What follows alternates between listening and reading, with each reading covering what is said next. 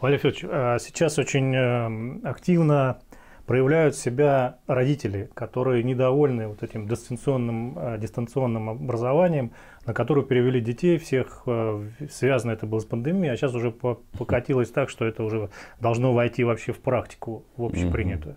Вот. А как вы в этом процессе себя видите, как вы в нем участвуете и вообще э, к чему, на ваш взгляд, это дальше ведет? Да.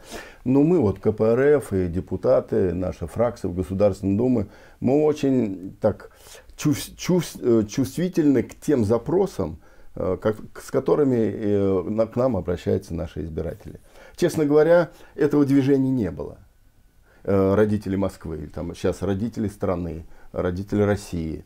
А, оно появилось только тогда, когда на детей удалили из школ на дистанционное вот это обучение э, без методик, без школы дистанта, э, без наглядной подготовки, значит, без технического обеспечения, без переучения преподавателей. Э, это совсем другие методики. У нас эти были дистант как дополнительное образование для студентов, для так, школьников, для каких-то кружков. Оно было, но оно только начальной стадии в чем э, правы родители. Вот когда это отправили, причем э, нарушив закон об образовании, четко написано в законе об образовании, что э, форму обучения выбирает родители и школы. Родители выбирают школы очного обучения, чтобы был преподаватель, чтобы был класс, был социум коллектива, чтобы были классные работы, домашние работы, чтобы кружки были и все остальное. А здесь силовым порядком, в нарушении закона, и родители это все понимают, мэр своим э, значит, росчерком или губернатор говорит, все вон, все на дистант. Э, все дома. Э, детишки 5-11 класс по 7-8 часов за компьютером сразу пошли жалобы на зрение, сколиоз, психические расстройства. Значит, родители пришли ко мне на прием, говорят, мы вот э, пришли, э, значит, родительница, она говорит, у нее дочка, значит, чуть ли не покончила с собой из-за психических расстройств. Родители должны сидеть вместе с детишками, Потому что э, ребята, ребята есть ребята. У них здесь компьютер, а рядом телефон. Там мультфильмы, там фильмы, там игры и так далее. И они в ухо сунули, так сказать, э, микрофон, ногу на диване. Пофигу им эти э, уроки и все остальное. Э, и это родители очень обеспокоены этим. Когда три месяца проучились наши дети весной и сделали социологический опрос э, успеваемости и усвояемости знаний ребятами, школьниками, оказалось, что отличники скатились в троечники, а троечники в двоечники.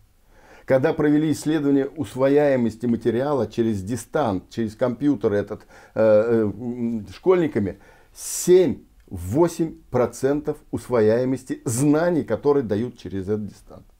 То есть мы за этот период дел, делаем, так сказать, наших учеников дегенераторами. Родители это тоже чувствуют. Если надо следить и сидеть с этими э, детишками, а когда работать? Это то есть родитель должен сидеть 6 э, дней в неделю с ребятами, а как кормить, одевать, обувать, деньги зарабатывать. А когда одна семья, вот ко мне пришли, она говорит, да, я вот, э, мама осталась, у меня трое детей. И я как разорваться должны? У меня один в пятом, другой в десятом, а это еще малолетка, я еще должна работать. Они, говорят, у меня просто не учатся и никаких знаний не получают. Это то же самое, говорит, о многодетных, когда маленькие квартиры, так сказать, невозможно обеспечить всех компьютерами, всех, так сказать, э, пособиями, и они мешают друг другу. То есть там целый клубок, вот когда навалился на родителя, они поняли, стали обращаться, значит, эту беду они поняли, стали обращаться к директорам школ, они все руки поднимают, там решили. Они бьются, приходят к мэру и письма пишут, а им говорят, все нормально, пошли вон, сидите, так сказать, и так было, и так будет. И когда в Государственную Думу внесли закон о дистанционном э, значит, э, утверждении и голосовании вот этого дистанционного образования в законе, ну все, они здесь, конечно, взорвались. То есть люди, родители поняли, это не временно. Когда стали разрабатывать методики, что преподаватели и директоров будут обучать на дистанционку, вот, они поняли, что это будет навсегда. У нас госпожа Голикова, значит, когда возглавляла и проводила реформу здравоохранения, по России она уничтожила половина больниц и поликлиник. Вот ей за это медаль дали и перевели ее на то, чтобы она сегодня руководит системой образования. Вот э, точно народ, и я тоже говорю, значит, теперь она будет уничтожать школы, чтобы их не было как класса, остались компьютеры, остались дистанционное образование, и все хорошо. Не надо денег платить, не надо, так сказать, школы содержать, не надо ремонтировать, не надо, так сказать, строить эти школы. Все, вот опять кладезь э, сэкономленных с точки зрения правительства Российской Федерации Голикова денег, которые они все равно растащат, разворуют. Но это надо внедрять. Вот после того, как закон этот внесли, ну, народ говорит, надо объединяться. И тут это движение стало, ну, просто мгновенно а, самоорганизовываться. Самое, э, значит, позитивное с точки зрения вот моего понимания, э, это самоорганизация граждан на то, чтобы не, не допустить вот, э, негативных явлений в нашей жизни. В частности, э, внедрение дистанционного образования навсегда.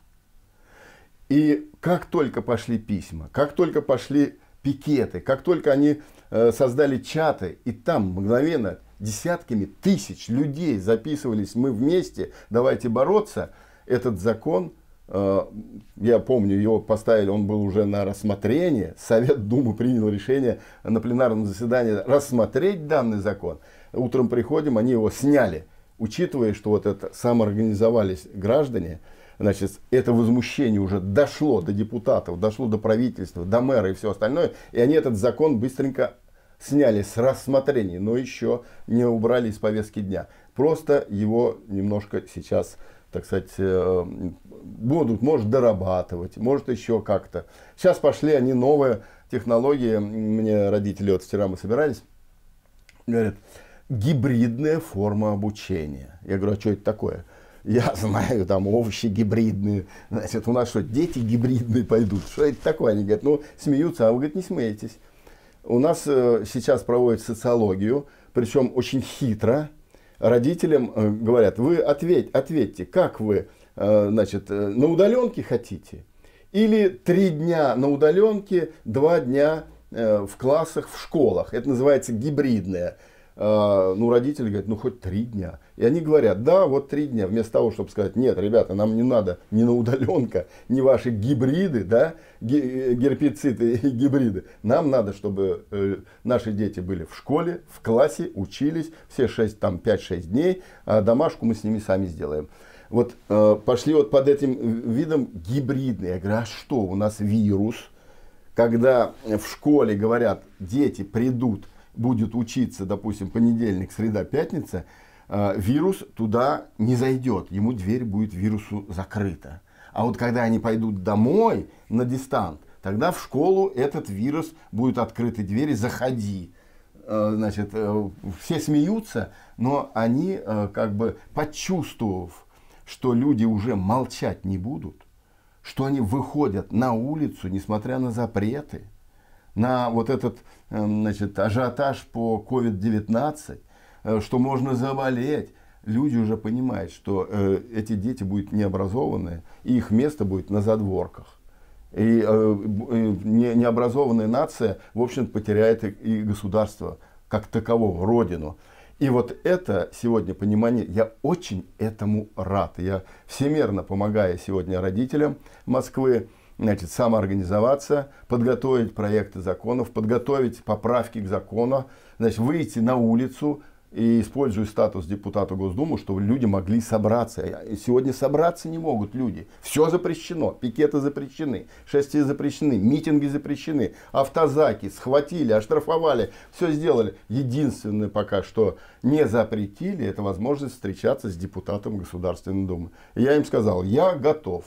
Вот на сегодня более важного, более важного э, значит, вопроса, как отстоять право э, учиться детям в школах я просто не вижу. И вот лозунг «Верните детей в школу», он сегодня самый точный, самый правильный. И под этот лозунг сегодня самоорганизовываются родители. Я им очень благодарен. Когда встреча? У нас э, будет значит, встреча в ближайшее время.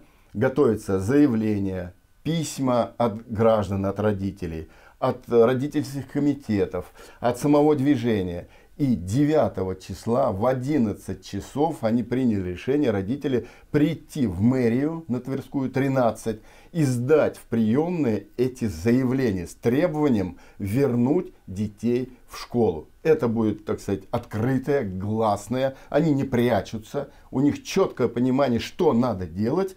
И вот 9 числа значит, в 11 часов на Тверской 13 у мэрии в приемной э, заявлении они соберутся и сдадут эти требования.